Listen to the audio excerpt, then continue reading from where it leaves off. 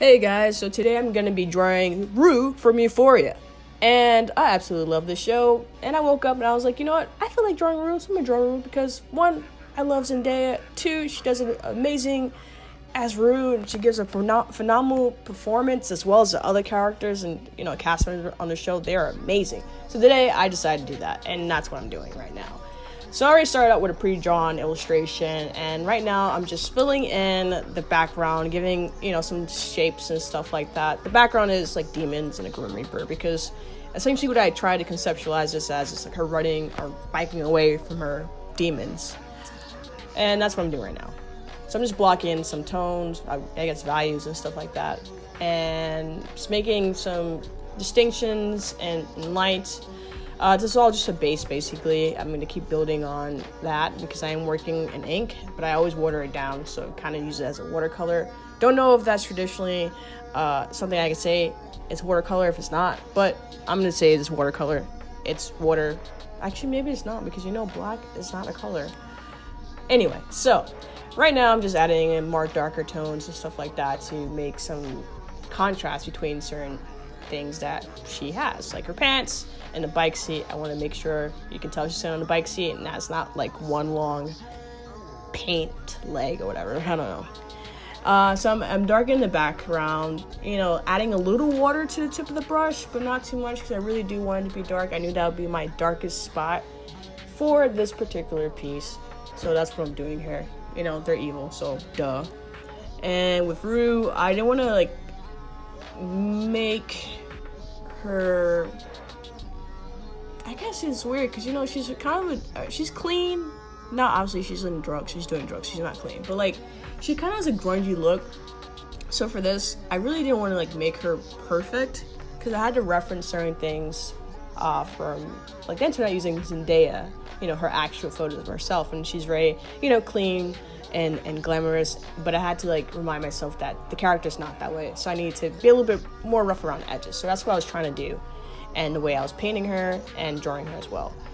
And right now I'm doing the line work, which is my favorite part of any painting I do, uh, particularly when I do a, this series, uh, which is called my walking series, but I started to evolve it from not people just walking, but actually interacting or, or on an object or something like that. So that's what this is. But uh, yes, my favorite part of any anything I do because line work, I don't know what it was. At first, I was really trying to do realistic realistic things when I first started college and prior to going to college.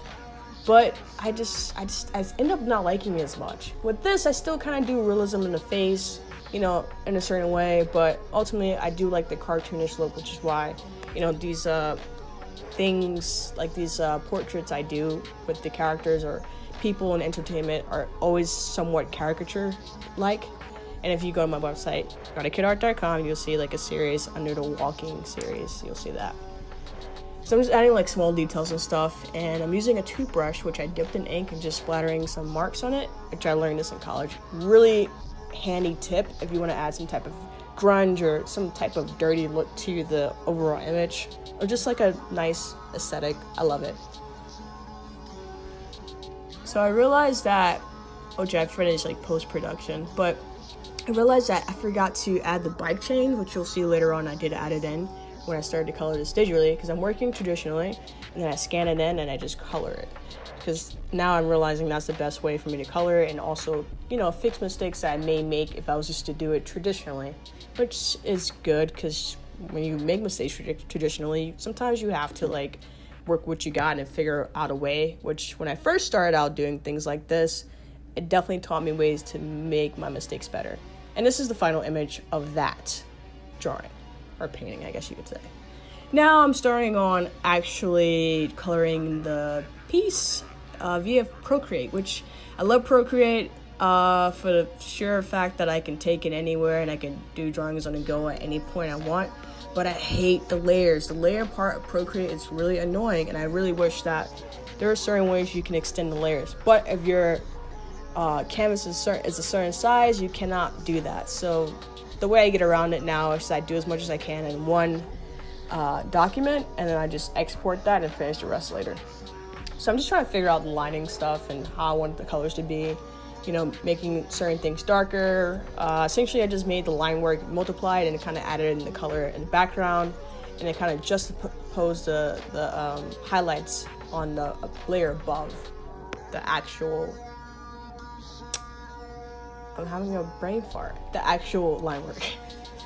because all this is is just layer modes and figuring out the layers I want to like do and stuff like that. And it's just layer modes. That's all it is really.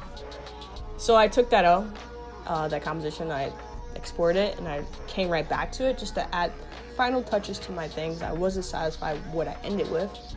So right in this particular document that you see here, it's mostly me just adding in small details, adding a little bit more highlights. My friend commented that I that it was too dark, so I wanted to add in some highlight. Uh, you can't see it here, but you'll see in the actual file what you're about to see now up close. I added some glitter under her eyes and a tear mark and some streaks of light because, you know, why not? I love light, I love lines. I'll try to break out lines anywhere if I can.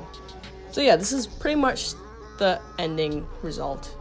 And this is how it looks and stuff like that. I mean, I don't know if I'm really good at this whole thing, but you know, I hope you guys enjoy this video. And uh, thanks. Subscribe and like if you like this video. if not, then, well, I love you.